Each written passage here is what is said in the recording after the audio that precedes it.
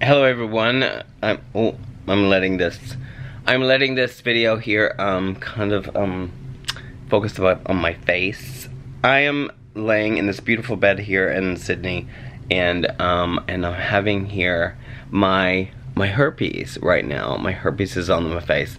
You know, I used to be really ashamed of, like, I used to have, when I was in high school, I had really, really bad skin. And so I was really, I was made fun of with really, I had bad skin and people called me, I got the word, like, pizza face. And I got the words, um, you know, like, um, my first boy boyfriend was really quite torturous to me. And he said, um, you have bad skin, but I love you anyway. Isn't that a horrible thing? Oh, I think maybe it's, I don't know. Anyway, I'm just saying that because all the flaws that I have within myself, the flaws that I have on my face, or the flaws that I have on my body, or the flaws that I have, what, well, you know, like, I don't know, I have gray hair coming in. I'm embracing all of that. Gray hair is, if that's considered a flaw, or, um, I don't know what other people consider flaws um, we can all follow that and consider that they're all flaws. But I love every flaw in myself. And I love that I can actually admit that I have this and to show it online because, you know, we, uh, what makes us really strong is accepting our imperfections, which somehow this comes with. I like I didn't like choose this to be on my face, nor did I choose the acne on my face, nor did I choose the gray hair coming in, nor did I, you know, um, you know, if you don't work out obsessive obsessively, you know, um, then you don't have this like kind of perfect body that the world has said that is perfect body. Or if you don't follow this or you don't follow that or you don't look like this and like you can't take a selfie you know there are instructions on the internet about um, how to take a self- selfie the do's and don'ts about taking a selfie. And you know I'm just so like sick of all of that stuff. And I'm really tired of like having to like keep up appearances or having to, you know, like look have my hair look good or anything like that. And if you've been following me, that's basically um, you know, basically what I'm really about these days. So some days I show up looking, you know, like hot and sexy and, you know, and um in the in the now. and sometimes I don't. And I'm not like and even when I leave the house, I don't have to look a specific way and I don't have to be um you know, dressed up for other people. I dress up for myself these days and I'm really okay with all of this. It's on my face. Like I used to make some kind of excuse of like, look at this or look at that or um, I really have a bad hair day or I have this or that there is nothing wrong with looking good. But I, when you are like, you know, when that's a choice, it's like the best, the best thing and a choice for yourself. And it feels good to look good. But it also feels good to own the fact that you don't always look good. And so, oh, these last days I've been, or this last couple days, I'm really kind of homesick and I'm like traveling and we're here on holiday and we're having a really good time and I've just been really lazy lately and I don't know. I'm really good with that too. I'm pretty good with everything you know that comes into my experience and you know sometimes I don't know. The head the conditioned mind and if you're watching me you must recognize if you don't recognize your drastic like mental mm, I don't know garbage that goes from one extreme to the other extreme sometimes and tries to like hijack you and make you feel like you know if you're feeling lazy or you know whatever. Well is it bleeding?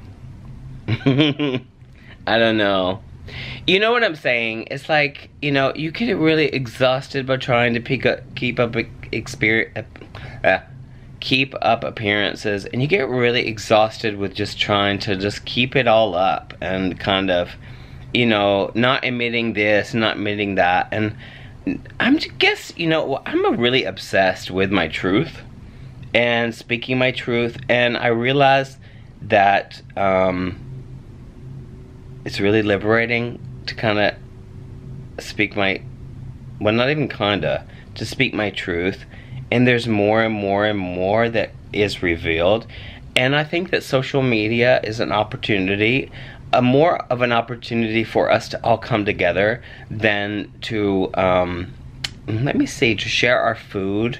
You know I have an occasional maybe I've posted like my food like two or three times but um, you know and I don't know.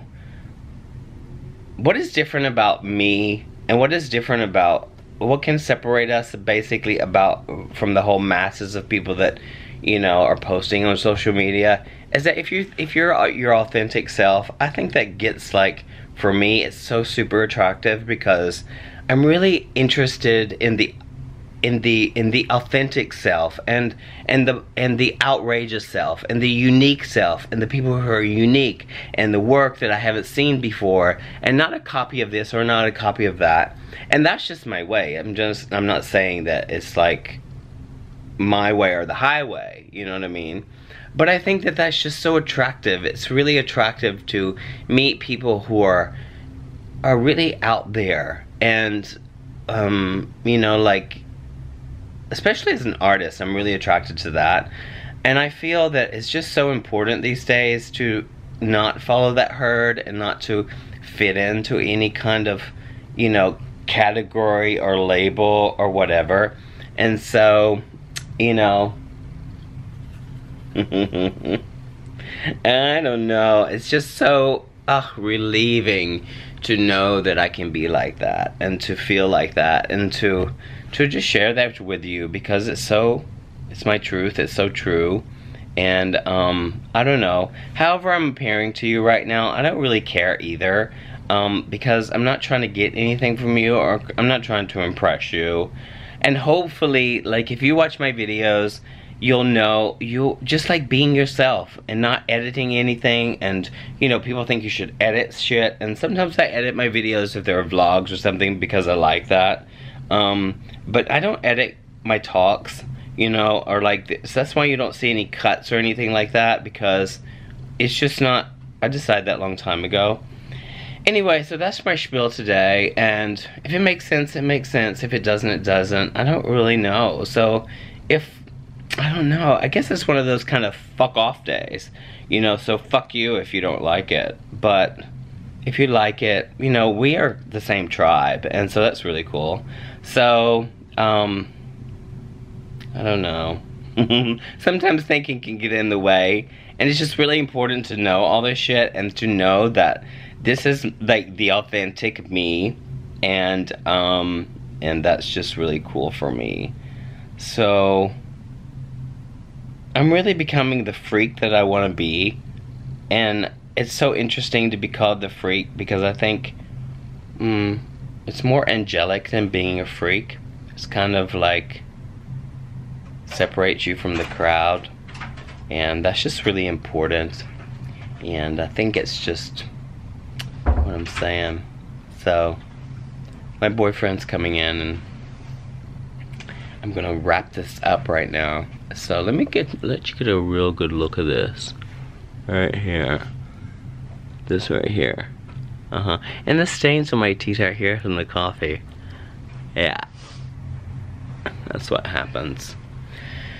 Oh, so thank you for watching The Real Me and enjoy your day. And um, keep it real. And um, yeah. right, baby bear? Right. Right? Right. Oh, he's so cute. He's so cute. So, anyway, so. Bye. He kisses me anyway with my little herpes in my mouth right here. Kind of hurts, but anyway, it's going away. She's a big one. Okay, have a beautiful day. Thank you for watching me. Enjoy it. Bye-bye. Bye. Bye. Bye.